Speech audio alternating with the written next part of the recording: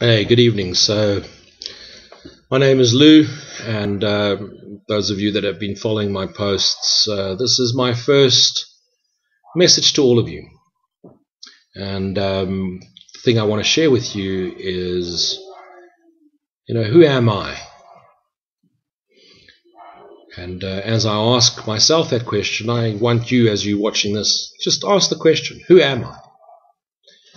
And the answer immediately comes through as, well, I'm a man. And the next thing that comes to mind is, I am a managing director of a multinational company. And um, I'm a son to a woman called Sylvia, and I'm a brother to a guy called Joe and Christina. And I'm an uncle to Chelsea and Cole and Jared. You know, these are my family members, and I'm their brother and son and uncle. And um, you know, I'm, I'm a motorcycle racer. I race motorcycles on the weekend, track days every now and again, and I race a. You know, I ride a Harley, so I'm a, I'm a biker. I'm a biker. I'm a, I ride a Harley. I ride a suit bike. I ride several suit bikes. So I'm a biker, and I love cars. So I'm a carer a biker and a carer. Yeah, that's what I am. And um, oh, let me not forget, I'm I I'm an architect. I have a degree in architecture. Oh, hang a second. I've also got a um, degree in in marketing, and I have a doctorate in strategy. So actually, I'm a strategist. Now, can more than one thing be true and simultaneously true and true only if it exists in a paradox. And a paradox only exists in duality, meaning two things are simultaneously true at the same time, but if only truth is true, then there cannot be two, two truisms. Therefore, unless it is true in itself, it cannot be true. And therefore, when I say I am an architect, am I really an architect? Does such a thing as an architect exist? Architect is just a label given to someone who has studied architecture. And what is architecture? It's just a combination of skill sets from construction design to engineering mathematics to ergonomics and, um, and, and, concept of, of space and time and, and scale and perspective it's just ideas. And therefore, I cannot be an idea. And if I'm, if I'm an idea, then that idea changes and therefore isn't true. Because at one stage I was an architect, and then I was a marketing manager, and then I was a managing director, and then I was a chief executive officer, and then a business consultant, and now a guru Shwama dude. So actually, I'm none of those things.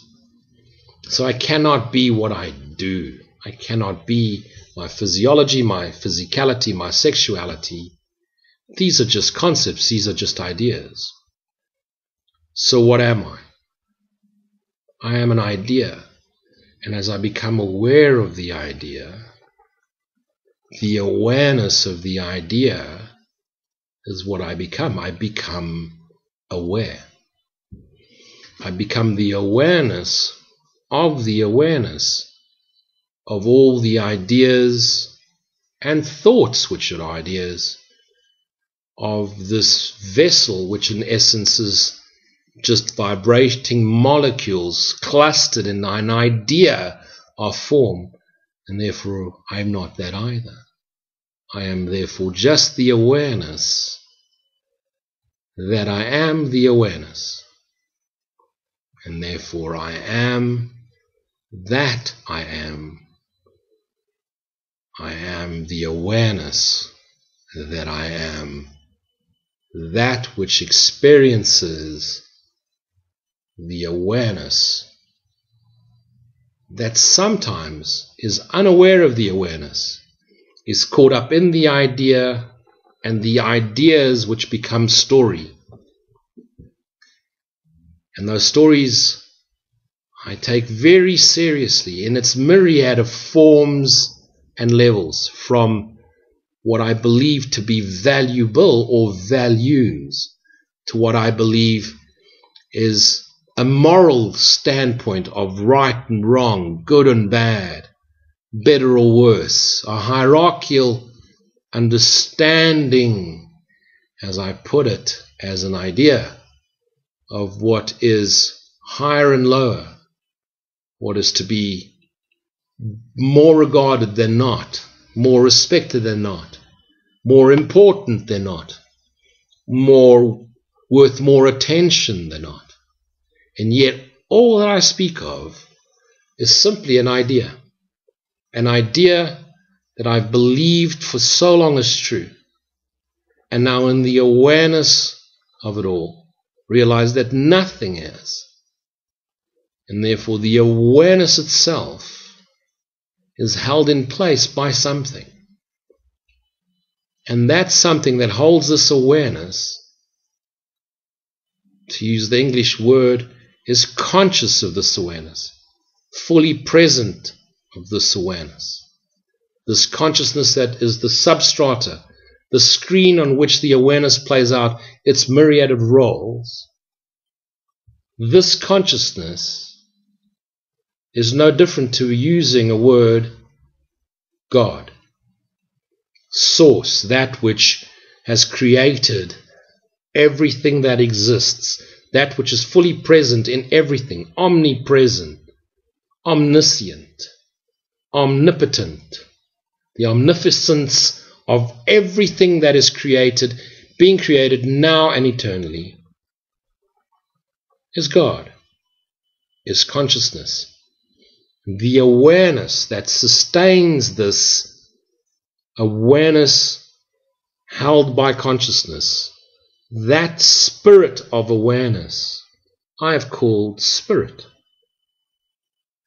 And the consciousness which holds all of this awareness in connection with the awareness, recording it without any judgment, simply observing the awareness become more aware of itself until it's fully immersed in consciousness God I have called soul. And when the awareness recedes, slows down, becomes physical, takes form, becomes an identity of ideas, of belief systems in form, and we call that the physical body, with all its ideas filtering through its physicality, emotion, and feeling, thought upon, reflected upon, engaged upon, considered upon, becoming thought once again, filtered through the myriads of ideas of ideas, it becomes intellect. And yet, all it seeks for is that gentle joy of peace from where it came, when it had no idea of itself, which is in resistance to what is. And as it lets go, realizing that none of this actually serves that inner state of peace. Nothing I pursue, nothing I want to gain, nothing I want to be a part of anymore. I let it all go receding back and simply gently letting go into the awareness of the awareness that I am, the awareness that I am. Touching on the consciousness which sustains me, returning to consciousness which is the Lord God of my being. That is what is. Nothing more, nothing less. I hope what I've shared with you brings some light on the matter of something that has never existed other than as an idea. And so be it. Amen. Peace to you all. Love you all. Be home. Be safe. Be kind. Be generous. Be creative. Be loving. Cheerio.